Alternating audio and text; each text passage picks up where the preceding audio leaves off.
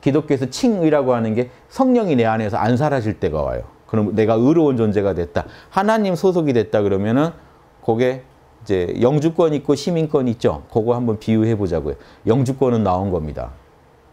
그런데 칭의만 해서 성화까지 가면 하나님의 뜻까지 알아요.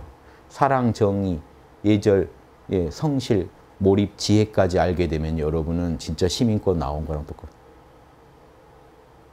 그럼 그 일지보살이요. 그때부터 이거 사실은 그때부터 이게 필요해요.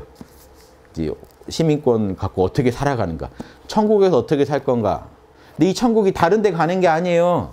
지금 여기 살고 있는데 다른 나라 가는 걸로 제가 예를 들었지만 몸은 여기 살고 있는데 여러분 영혼은 천국 생활을 하고 있다니까요, 지금. 요 기적을 살아서 체험 못 하신다. 죽은 뒤에 갑자기 어떻게 돼요? 살아서 내내 안 됐는데.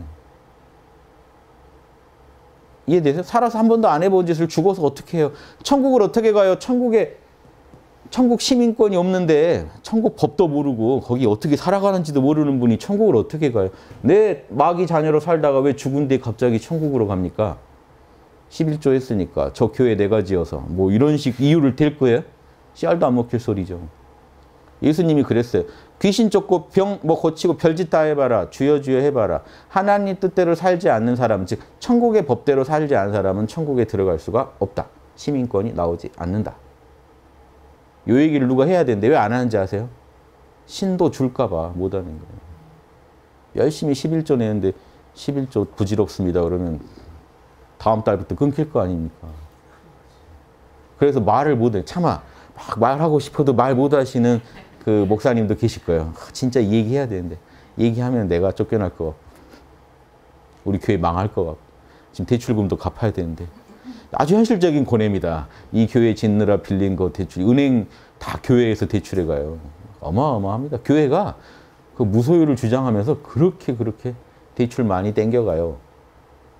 저 교회 망하면 큰일 나요. 지금 한국 경제에 위기가 와요. 이 정도라는 거 아셔야 돼요. 뭔가 잘못됐죠. 지금 불교도 잘못됐지만 다른 종교들도 지금 심각해요. 본 취지랑 너무 멀어졌어요. 그래서 제가 이런 얘기를 하는 거예요. 스스로 자정작용이 안 되는 것 같으니까 요즘 유튜브 공중파 이런 거보다 유튜브 많이 보십니다. 요즘 연일 기사, 기사화 되더라고요. 근데 문제는 유튜브 안에는 별 쓰레기 같은 컨텐츠부터 아주 양질의 컨텐츠까지 정말 다양하다는 거예요. 그럼 그걸 읽어내시는 건 또 결국 여러분 책임이 되는 거예요. 그러니까 제가 이런 양심 얘기를 안 할 수가 있습니까? 깨어서 내, 내 에고에 자명하다고 그냥 거기 가서 좋아요 달고 막 깨어있는 시민을 드디어 만났다 이러지 마시라고. 드디어 내 인생의 답을 얻었다. 쉽게 그렇게 허락하지 마시고 저희 것도 포함해서 예, 스스로 중심을 잡아야 우리가 예, 이런 많은 다, 양한 정보를 접했을 때 그게 내 양심을 살찌우지 내 욕심을 살찌우지 아, 않게 될 것이다. 마귀의 자녀로 사는 게 아니라 하나님의 자녀로 사는 거를 그 정보들이 도울 것이다. 이런 취지에서 말씀드리는 겁니다.